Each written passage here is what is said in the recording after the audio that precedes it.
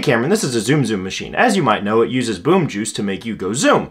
If you go over here to the hood and you put your fingers just right to make it just the right amount of hat, the hood will pop up. And then you can see this is the boom box. The boom box is inside the Zoom Zoom machine and the boom box uses boom juice so that it can go zoom, making a boom. This is where you put in the boom juice that ultimately goes in to the boom box. This is known as a gas station or a filling station. And this is where you get the boom juice. The boom juice comes out of this pump and goes into the Zoom Zoom machine. As you may know, the boom juice it's flammable. This is one of the reasons you're not supposed to smoke at the gas slash filling station. Per FEMA, if your Zoom Zoom machine is to catch fire, this is what you should do. Number one, you should pull over as quickly as you can when it's safe. Once it is stopped, turn off the boombox engine. Number three, get everybody out of the Zoom Zoom machine. Don't go back to it. Don't try to fight the fire yourself. You're not a fireman. Unless you are a fireman, in which case you probably also shouldn't because you're probably not wearing your fireman gear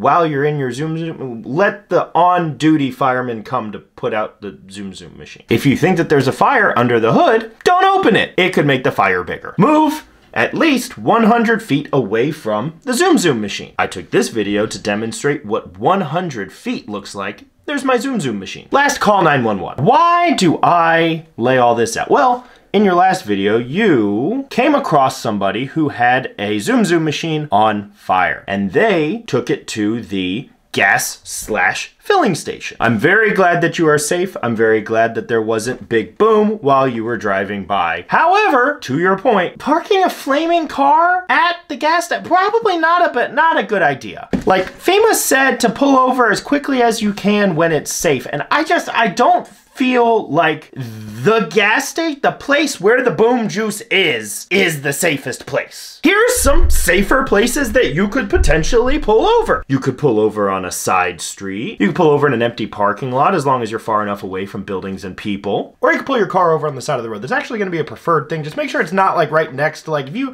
if you pull up to like a restaurant where there's like people eating outside on a pat, don't don't pull over there. That's a dick move.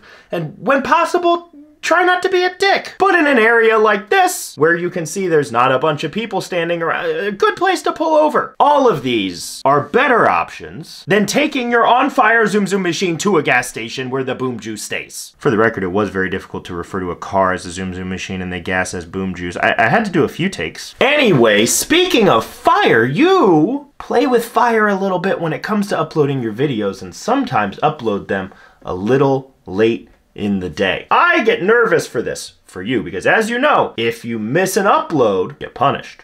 And I don't want you to be like uploading a video at like 1150 and it takes 12 minutes for it to upload and it doesn't upload until the next day. That would be a bummer. Now, yesterday, you uploaded a video at 11.15. Great. You fulfilled your obligations. However, at some point, that video was deleted and a new video was uploaded in its place. Now, the new video was essentially the same thing as the old video. It just had some parts cut out of it. The issue is that the new video was uploaded after midnight. So technically, the new video was uploaded today. This appears to be a loophole in our rules that I did not account for because you technically fulfilled your obligations by uploading the video. However, the video that we have was not uploaded in time. I'm not gonna dole out a punishment for that because technically you didn't break the rules. With that said, I did discover that you can edit a video like after you've posted it. Like you can cut some parts out. Let me show you. This is a little peek under the covers for anybody that doesn't upload videos into YouTube. Um, we've got an editor over here. We're gonna click on get started. And then let's say I wanna trim and cut. So I want to cut, and I want to cut, I don't know, this part of my video. So I can do that. I can say check. When I go to play the video, right, it's going to skip over those cut parts, and then you can save it. Now, there are some restrictions that YouTube puts on that, like if a video has more than 100,000 views, if you're part of like the YouTube partner program, stuff like that, those those functions might be limited to be able to actually cut. Now, I do wish that they had the option to be able to like add in like a text box or a notification or something like that, because I think that would be really useful, especially when you do videos that you might have like an update for or something like that later. That would be a nice feature for them to add. Anyway, I know the loophole worked in your favor this time. I do think that we should close it going forward. Let me know if you disagree with that. Hopefully the, uh, the trim and cut is able to resolve that issue for you if you have it again in the future. But other than that, here's a lion figurine and I'll see you on Monday.